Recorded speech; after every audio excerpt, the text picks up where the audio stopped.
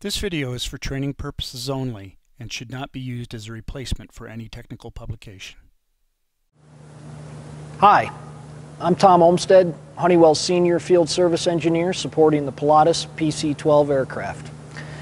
The KSG 7200 ADAHRS unit installed on all PC-12 aircraft is a dual-channel unit that combines attitude and air data sensing functions in a single unit. The ADAHRS senses the magnetic heading of the aircraft and its pitch, roll, and yaw attitudes, processes the data, and gives it to other aircraft systems for use in display and control.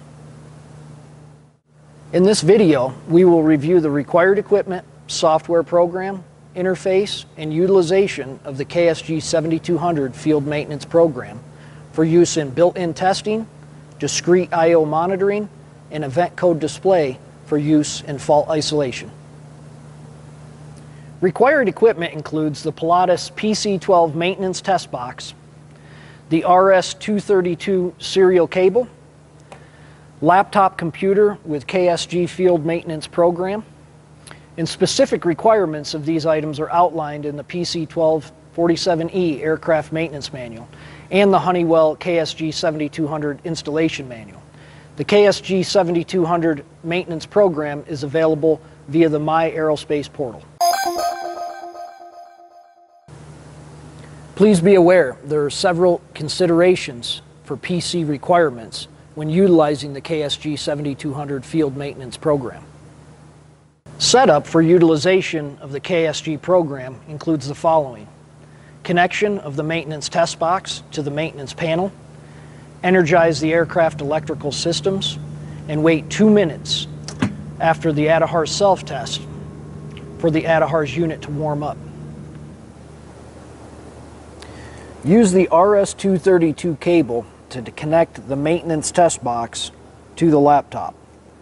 Connector J1 is utilized in conjunction with the rotary test knob. Select to ADAHRS. To communicate with channel B, connect the RS-232 connector to the J2 connector for a direct connection to the ADAHRS B channel.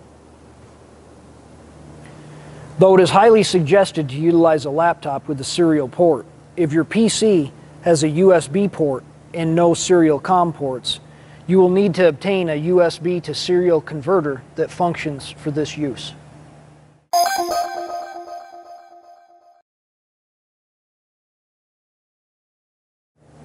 Next, open the KSG 7200 field maintenance program via the desktop icon.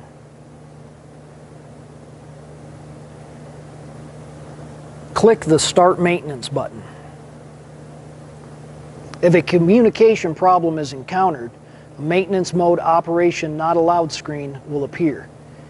In case of this failure, check the harness connections and RS-232 port to the PC. Once the Choose Item to View page appears, the program can be utilized for numerous fault isolation functions, including display of event codes, bit results, discrete I.O. monitoring, and magnetometer built-in test. Other program options include certification file loading, part number verifications, compass swing calibrations, and ADAHRS alignment, among others. To display bit test results, select the built-in test results icon. This can be utilized to verify operation of the ADAHRS unit.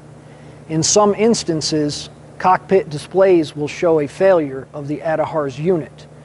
To confirm this failure, utilize this program and built-in test results to confirm whether the ADAHRS is truly failed or if a wiring discrepancy exists on the aircraft. For additional fault isolation, utilize the Display Event Codes button. The event code log will appear. Individual event codes can be selected.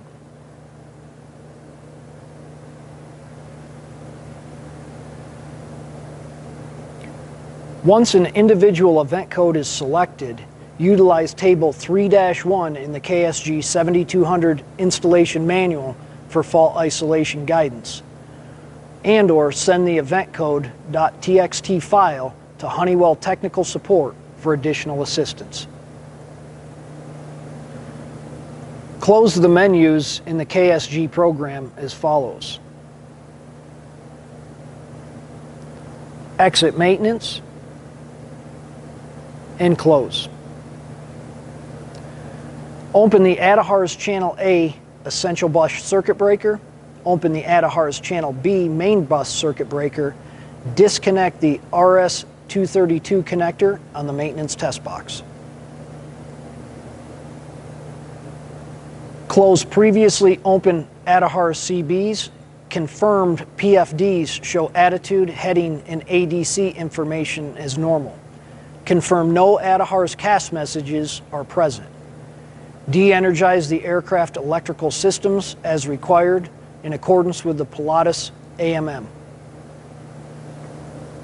This concludes the overview of the KSG 7200 field maintenance program usage for PC-12 NG ADAHRS fault isolation. For additional assistance, please contact us at our web portal. This video is for training purposes only and should not be used as a replacement for any technical publication.